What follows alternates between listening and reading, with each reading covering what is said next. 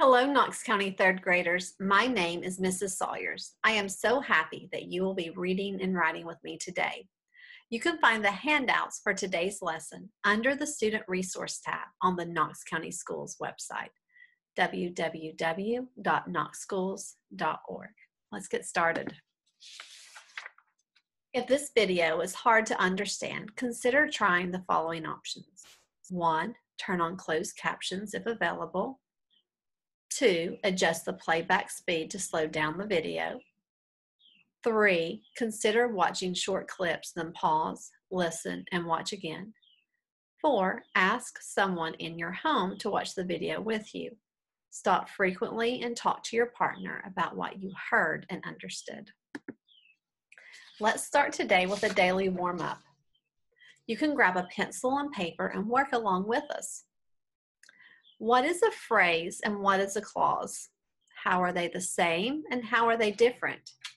Well, a phrase is a group of related words, and a clause is a group of words with a subject and its predicate or verb.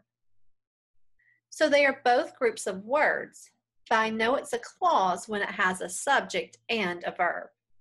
Let's decide if these groups of words are phrases or clauses. The teacher takes attendance. Do you see a subject? Do you see a verb? I see a subject, teacher, and verb, takes. So this must be a clause. Many students. Do you see a subject? Do you see a verb? I see a noun, students, but I don't see a verb. So this must be a phrase. Students learn. Do you see a subject? Do you see a verb? I have a subject, students, and a verb, learn. So this is a clause. More homework. Do you see a subject or a verb? I see homework and I know it's a noun, but there's not a verb. So this is a phrase. During the week. This is a phrase. I don't have a subject and it's verb. Now this next one might be a little tricky. They have homework. My subject is a pronoun this time. Do you know what it is? Yes, they. And a verb, that's a linking verb. Yes, have. So this is a clause. Great job, guys. Now let's take our phrases and clauses and make them complete sentences. Take a minute to look over our phrases and clauses from the last slide. What do we need to do to make them complete sentences? Yes, we need a subject and verb in each one. We also need capital letters at the beginning and punctuation at the end. Now, will everyone's sentences look the same? No, and that's okay. Let's take a moment and look at the sentences I came up with today. The teacher takes attendance. Many students have homework. Students learn at school. They have more homework. During the week, they have school. They have homework. What do you think? Do they all begin with a capital letter? Do you see punctuation at the end? Now, the important part too is the subject and the verb. Check and make sure they each have a subject and verb. Yes, they do. Now it's time to check your sentences. What do you think? Third graders, why is it so important that we can write in complete sentences? If you said so we can have clear thoughts and express our ideas and that we can complete our quick writes, you're correct. Let's take a moment to look at our agenda together. Today we will read about school in Japan versus school in America so we can discuss the differences and the similarities. We will know we have it when we can write about school in Japan and school in America. And let's also look at our quick write for the day. Do you think an American student would have more difficulty adapting to a Japanese school, or a Japanese student would have more difficulty adapting to an American school? So as we read today, we'll need to think about our quick write and take notes. Before we start reading, let's look at some of our sleuth tips. In this unit, you'll be looking for clues about cultures. Here are some sleuth tips to help you. Way to go! First, gather evidence. How do sleuths find clues by authors? Sleuths look for sequence clues, how one event caused another, or how one event had many effects. Sleuths think hard while they read and put different clues together. Ask questions. Where do sleuths get answers to their questions? Sleuths find answers to their questions in pictures, in the text, and by talking to other sleuths. Sleuths use books or computers to find answers. A good sleuth never gives up. Make your case. How do sleuths use clues when they make a case? Sleuths explain how the clues led them to their conclusions. Sleuths know that it's important to explain how pictures and text reveal answers. Prove it. Why do sleuths think about who will read what they write?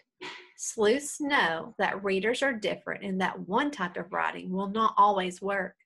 Sleuths always try to be interesting and clear.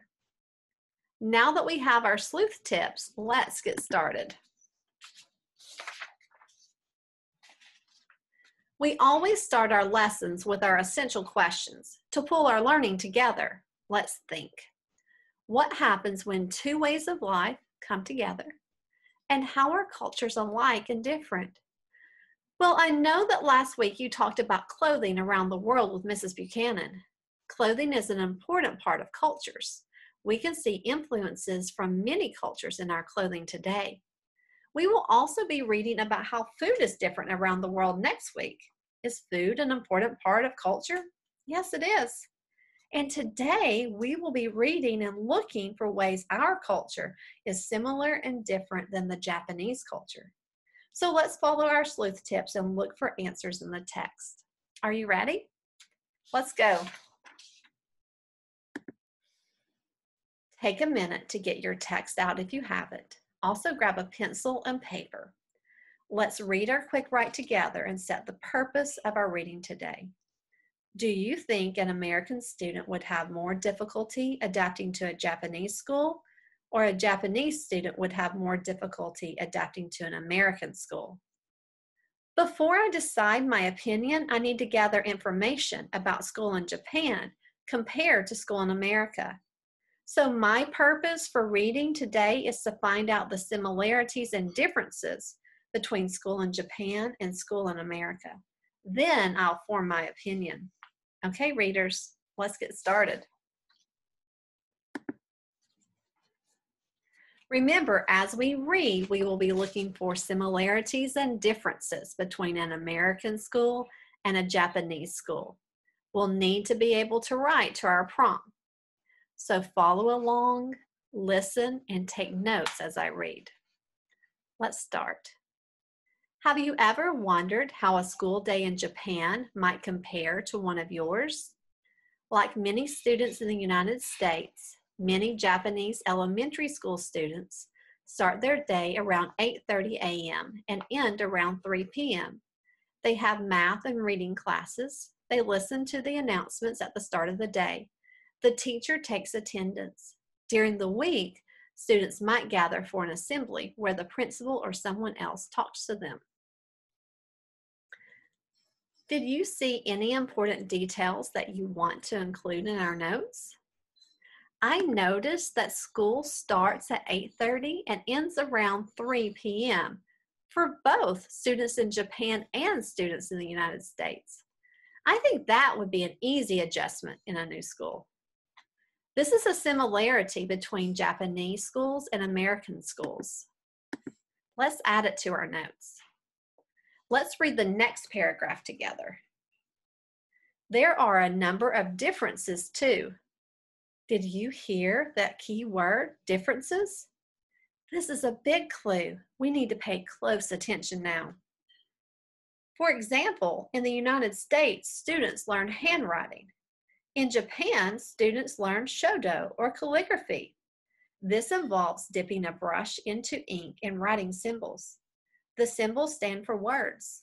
Students in Japan also have a class where they learn to cook and sew.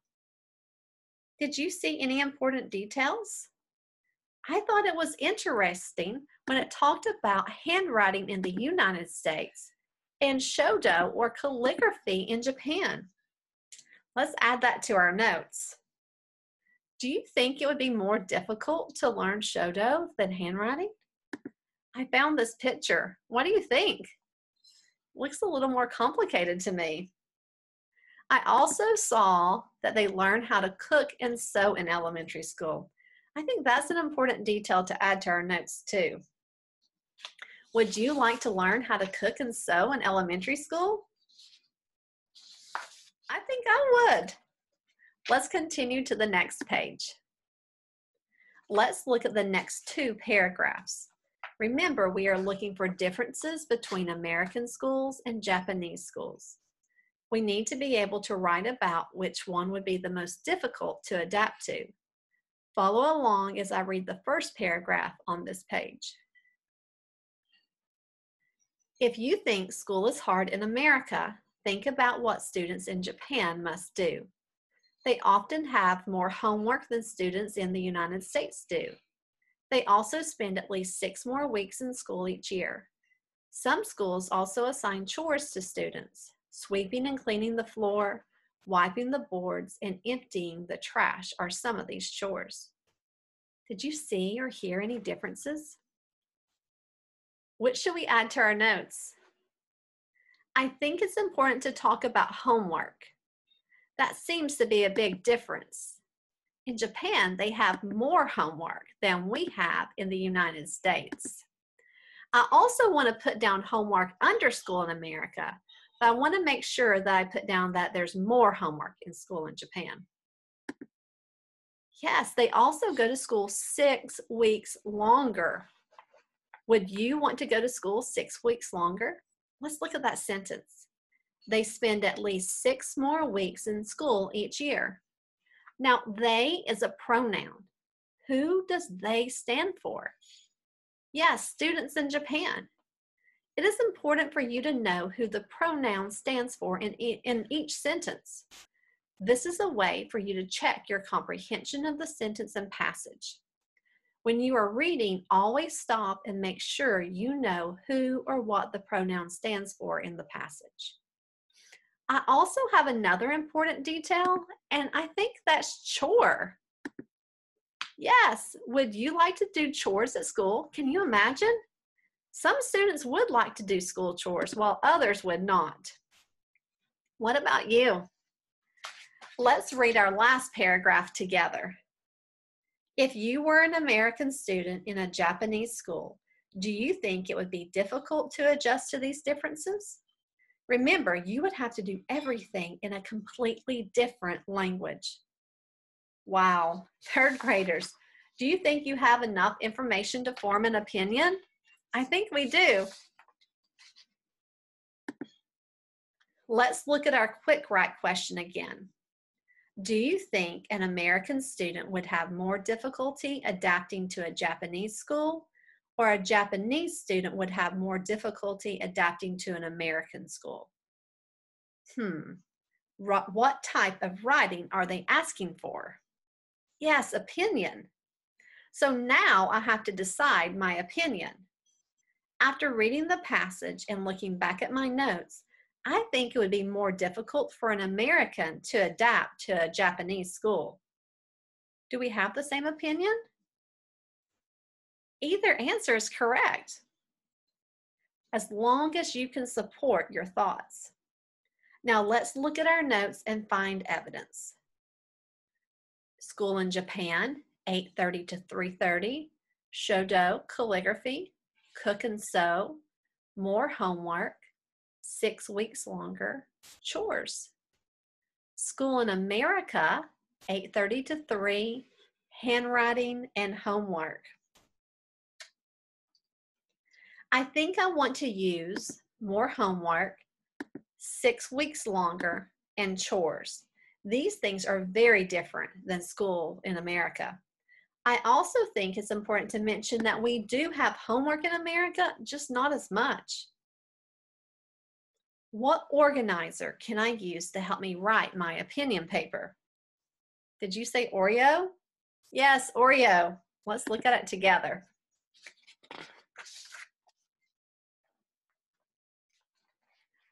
O stands for opinion. I must state the opinion I'm going to support in the paragraph. I am going to say that it would be more difficult for an American student to adapt to a Japanese school. Look at my opinion sentence.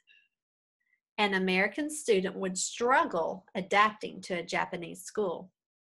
Does this sentence clearly state my opinion? Yes. Next, we have R for reason. Remember, I found my reasons in the passage and wrote them in the notes. Let's look back at the notes. I circled more homework, six weeks longer, chores, and then also under school in America, I circled homework. How can I put this together in a statement?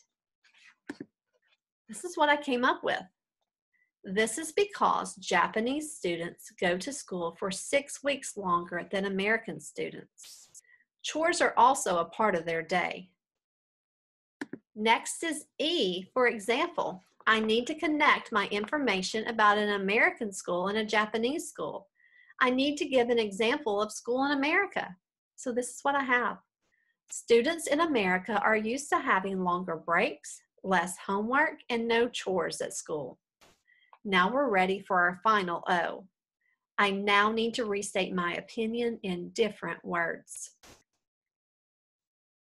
But remember, my opinion must stay the same as the, uh, that, as the opinion I began with.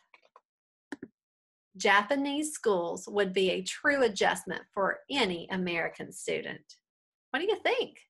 Did I restate my opinion? Yes. Okay, guys, now it's your turn.